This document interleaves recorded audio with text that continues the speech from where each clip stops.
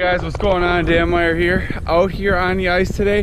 Gonna be looking for some crappie. So what we got going on today, we're fishing a lake. Well, we're gonna be fishing a basin bite. We're out here on the ice right now. The spot we're fishing, it's just a big, giant mud flat. That's pretty much what it is. There's no real structure here holding these fish. There's no defined hole. You know, there's there's no shoreline structure, anything. It's just a big basin. So the reason we're fishing this spot is because this fall I found crappies out here. So now we're coming back. Uh, this is pretty, this is first ice. We had to walk we had to walk out here because the ice isn't thick enough to uh, get a snowmobile out here yet, but it is thick enough that we were able to walk out here. So the plan is I'm just gonna drill this whole area out. You can kind of, when you just look, you can see, I mean, nobody's been out here. It's just a big open area. I'm gonna cut that whole area up, starting a little bit at a time, cut some holes, fish them, and then we're gonna see if we can't uh, catch some fish. I just got done cutting the first series of holes here. You can see I've got my dad with me. He's fish. He's fishing over there. I've got some here. I popped them over here, going this way. Just cut a little area out here. I'm gonna check these, see if I mark any fish. If I don't, I'm gonna just keep on expanding this area, making it bigger got about maybe i don't know 10 yards in between holes. Kind of spaced them out right now because i don't know exactly where the fish are. There's nothing here really to concentrate. So what i'm expecting these fish to do when i can find them is they're going to be spread out and roaming in small pods of fish. Maybe one maybe two maybe three. Every once in a while a bigger pod. That's kind of what i'm expecting I'm not sure yet because we haven't found any of these fish. But because of that, because they're just gonna, there's nothing to hold them here. They're just gonna be constantly roaming around searching for food. So we're gonna, you know, fish these holes out a little bit, see if anything comes through. And if they don't, like I said, I'm gonna be back on the drill. I've got it ready to go. So I'm gonna start setting up here and uh, we're gonna just check these holes. Get the old gloves on. I'm gonna get my rod and uh, we're going to see. We're going to check some of the first holes. I've got another camera with me here today. Get that once we find some fish. Let's check the first hole and see if there's any crappie down here. Like i said i have not been here since the fall. The other thing that's interesting is i when i fished here in the fall and found them it the water wasn't really that cool yet. It was like the it was before turnover. They were just sliding into their fall pattern. So because of that, I'm not exactly sure. You can see it's 17 feet deep here. I'm not exactly sure what depth these fish are going to be running. Um, they could have slid a little bit deeper. This is not the deepest part of the lake. They could have slid deeper as that water cooled off. We're going to find out. Here's the first drop. There's my bait going down. And so far, not a lot. Oh, something maybe popping up down by the bottom. Maybe. We'll get the bait down there, see if anything wants to come up. There's a, there's a, that's a crappie, guys. That's a crappie. First hole, first, I think that's a crappie. We're gonna see if we can get him to hit it think I got an up bite. Yep. Oh, I pulled it out of his mouth, guys. Shoot, first fish, that's an important fish to confirm it's a crappie. And I pulled it out of his mouth. That's bad. He might, he's, he's, he's still there, I think. Hard to tell. I put a lot of bubbles in the water there. Where's my bait? There's my bait. I scared him away. That was important. Uh, that was an important fish. Should have given him a little more time. I thought I had an up bite though. See if we can't get him to come back. I'm just gonna fish this out. Let's go check another hole and give this hole a second. I wanna see if he hit my bait. I'm not sure. Let's go check the hole behind us. I'll come right back to that hole to check this hole right here. Talking to the folks at home. All right. So this hole about the same depth. All right guys, so what I did, I fished all those holes. Then I uh, drilled some new holes and have not marked any any crappies. Maybe that one in the very first hole. So I'm gonna move. I think I think what happened is when we got him here the fall, it was before turnover. It was kind of in a transition zone.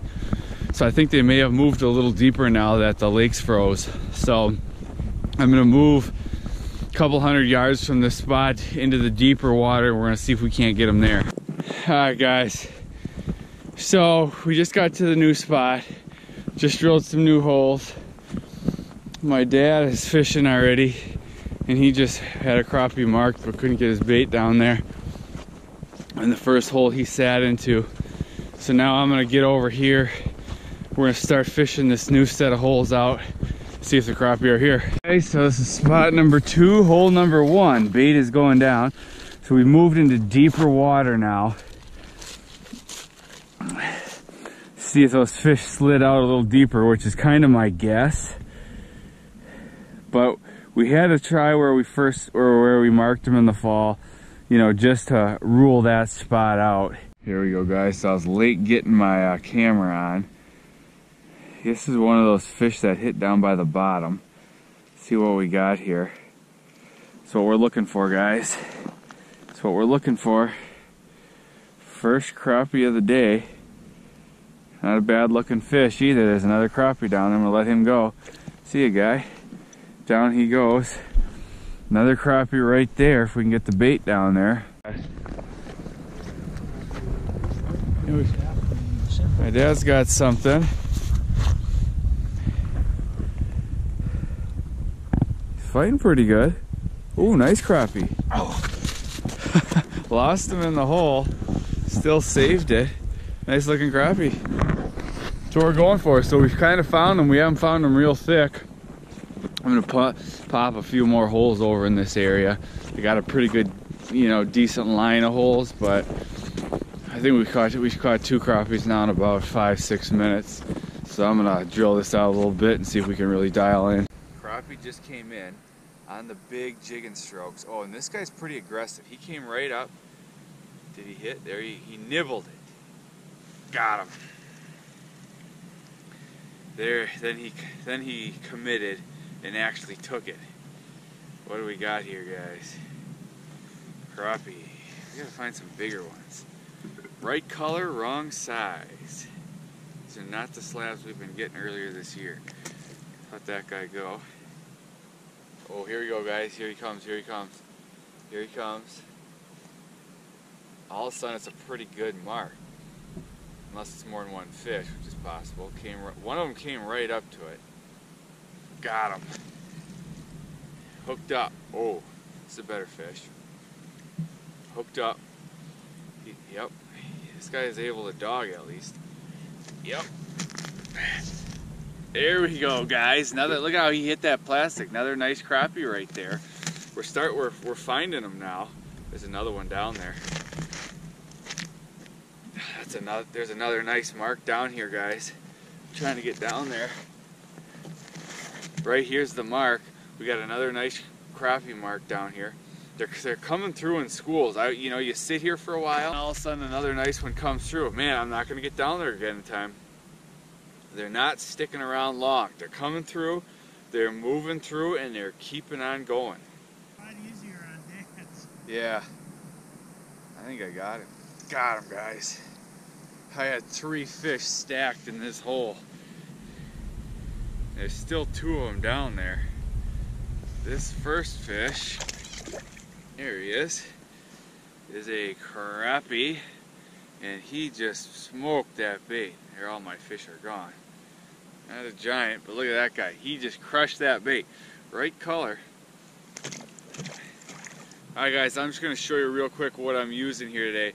So I'm using my 32 inch tuned up custom precision noodle. I love this as my crappie rod. Good, nice bendable tip on this.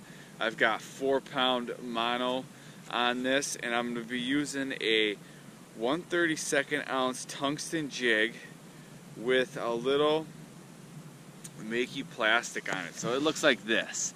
Just a little chart, it's a chartreuse jig and chartreuse tail. Uh, I did a video just talking about this bait. I can link to that up in the corner if you want to get some more details, but that's just what I'm going to be using today. I like using a noodle rod. It's a fun fight for fighting these crappies. Plus with that sensitive tip, you can detect those soft bites.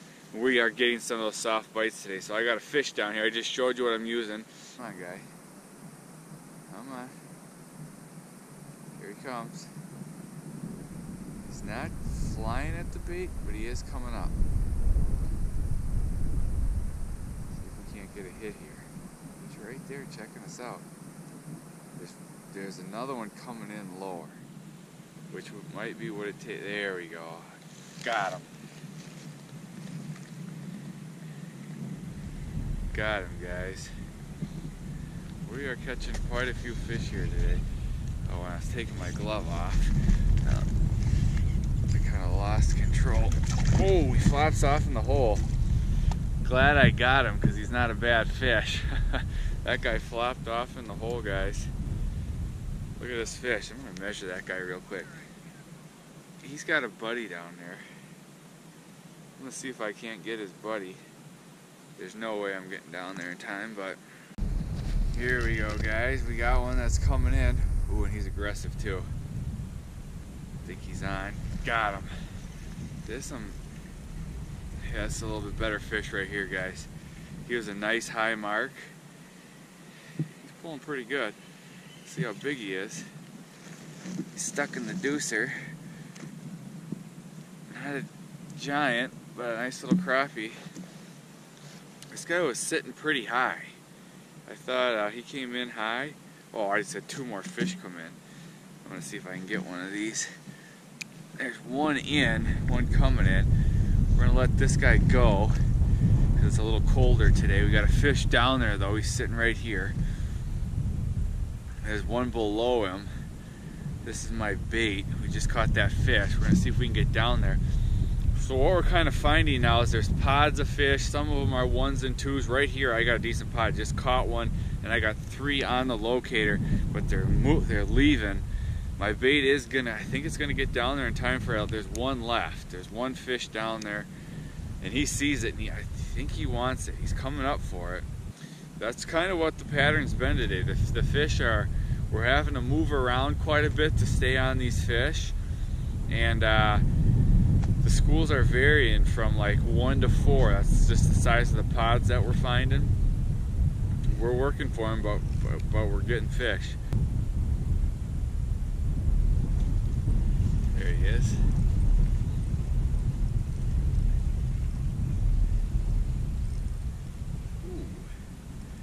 Ooh. Pulling right here at the end. There he is, guys. We've caught a lot of crappie today. Not a giant. Back down the hole he goes. We've caught a lot of fish. Well guys, that's it for today. Had a pretty good day today. Caught a lot of crappie. Uh, good to see a lot of different year classes in this lake. Thanks so much for watching and I'll see you guys in the next video.